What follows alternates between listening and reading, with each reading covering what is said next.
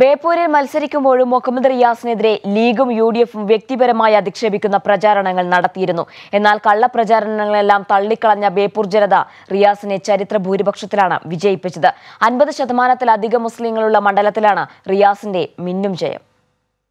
DYFI അഖിലേന്ത്യാ പ്രസിഡന്റായി പ്രവർത്തിക്കുന്ന ഘട്ടത്തിലാണ് മുഹമ്മദ് റിയാസ് ബേപ്പൂരിൽ നിന്നും നിയമസഭയിലേക്ക് മത്സരിച്ചത്.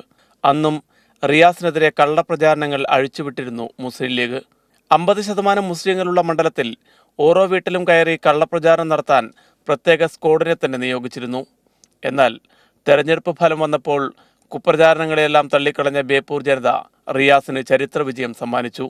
ഇരുപത്തെട്ടായിരം വോട്ടിന്റെ ചരിത്ര ഭൂരിപക്ഷത്തിലായിരുന്നു റിയാസിനെ ബേപ്പൂരുകാർ നിയമസഭയിലേക്ക് അയച്ചത്. രണ്ടായിരത്തി പത്തൊൻപതിലെ ലോക്സഭാ തെരഞ്ഞെടുപ്പിൽ യു ഡി എഫിന് പതിനായിരം വോട്ട് ഭൂരിപക്ഷമുണ്ടായിരുന്നിടത്താണ് റിയാസ് മിന്നും ജയം നേടിയത്.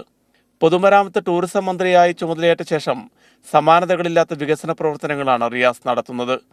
ഇതിൽ വിരളിപ്പുണ്ടാണ് ലീഗ് വീണ്ടും റിയാസിനെ അധിക്ഷേപിക്കുന്നത്. സമൂഹത്തെ വിഭജിക്കുന്ന പ്രവർത്തനങ്ങളിൽ നിന്നും ലീഗ് പിന്മാറണമെന്ന് ഡിവൈഎഫ്ഐ സംസ്ഥാന സെക്രട്ടറി വി കെ സനോജ് ആവശ്യപ്പെട്ടു. യഥാർത്ഥത്തിൽ ലീഗ് നടത്തിക്കൊണ്ടിരിക്കുന്ന അങ്ങേയറ്റം അപകടകരമായിട്ടുള്ളൊരു നീക്കം കേരളത്തെ വിഭജിക്കാനുള്ള ഒരു നീക്കമാണ് സംഘപരിവാരത്തിന്റെ മുന്നോട്ട് വെക്കുന്ന മതരാഷ്ട്രീയം തന്നെയാണ് ലീഗും ഇപ്പോൾ ഇവിടെ ഏറ്റെടുത്ത് നടപ്പാക്കിക്കൊണ്ടിരിക്കുന്നത്.